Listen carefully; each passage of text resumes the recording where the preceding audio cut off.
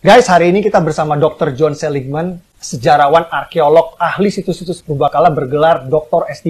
Uh, the temple place of the temple uh, that is built uh, by Solomon uh, in the central part of what is today known as the Temple Mount. Uh, at the end of the First Temple period in 586, as the kingdom decides to expand the size of the Temple Mount until the latest stage, which is during the time of Herod, talking around about the time of the first century, when the area is expanded to its greatest size.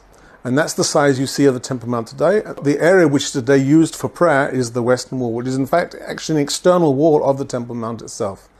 Uh, that is then destroyed, uh, quite specifically as a political act by the Romans to make sure that uh, the Jews do not rebel against Roman rule again.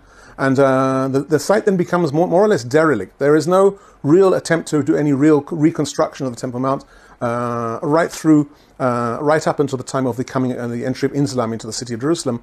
When Umar, Umar enters Jerusalem, he would have mostly found an empty space. And for that reason, he builds a small mosque uh, on what is today known as the area of the, of the Al Aqsa Mosque. We know quite clearly the development of the two major structures on the Temple Mount, one being the, uh, the Dome of the Rock, uh, and the other one being the Al Aqsa Mosque. Um, both were built by the fifth caliph, um, Abdul Malik. Those buildings are, um, are later than the later than the time of the arrival of Muhammad. So this Aqsa is built on top of the holiest site of Jewish religion.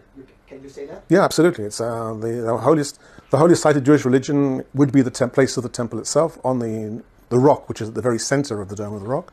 That is the place by Jewish tradition, which is the place of the um, the creation. It's the place of the uh, sacrifice of Isaac uh, by Abraham, or in Islamic tradition of Ismail by Abraham.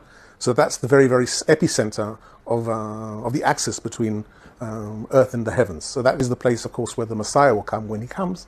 By Jewish tradition, will come there to come to that place. That so there, there will be plan someday.